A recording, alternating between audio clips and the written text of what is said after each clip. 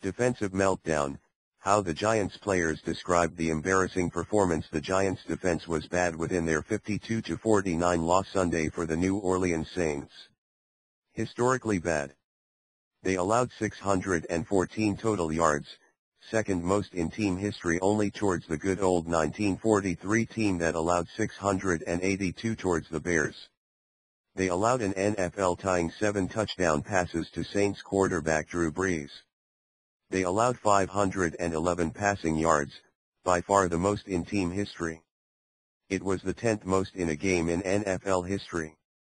More, Giants are getting nowhere using this type of defense they allowed 52 points, by far the most since November 11, 1966 after they lost 72-41 for the Redskins.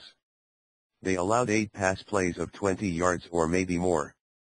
Five of them went for touchdowns. Even though coach Tom Coughlin refused to offer adjectives to explain the ineptness of his defense, I will. Awful. Disgusting. Pathetic. Embarrassing.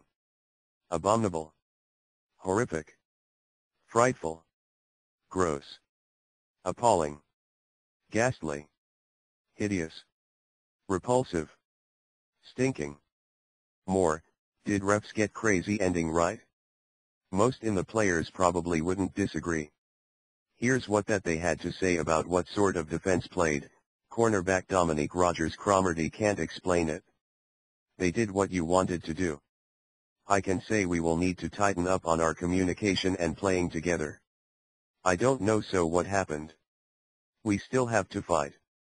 Tom Coughlin, Giants, Band, Washington Redskins, New Orleans Saints, Dominique Rodgers-Cromartie, New Orleans, Odell Beckham, Bears, Trumaine McBride, Landon Collins, National Football League, New Orleans Saints, Devon Kennard, Drew Brees, Facebook, Tier 1 Teams, NFL, Giants.